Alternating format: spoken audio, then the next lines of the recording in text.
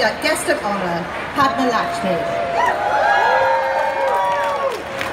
As so many of you know, Padma is host and executive producer of Bravo's and James Beard Award-winning and Emmy Award-winning Top Chef.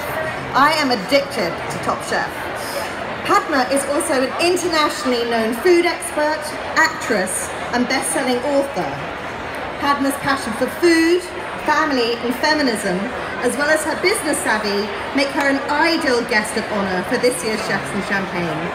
She is an inspiring role model for future generations of chefs, uh, chefs, writers, and entrepreneurs alike. Please join me in welcoming Padma.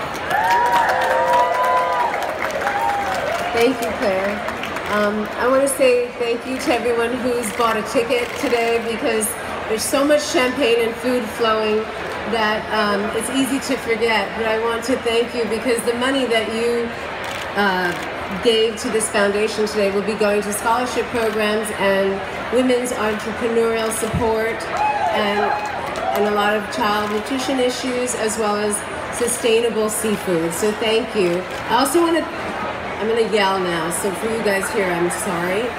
I want to do a big shout out to all the chefs. Where Thank you so much for being here and working hard and, and amazing to see so many Top Chef alumni and so many women out there. So thank you for working really hard. Um, and, and lastly, it's a huge honor to be here. As any chef or cookbook author will tell you, the highest prize in a career in food is being recognized by the James Beard Foundation. And so today I can check that off my bucket list, so thank you.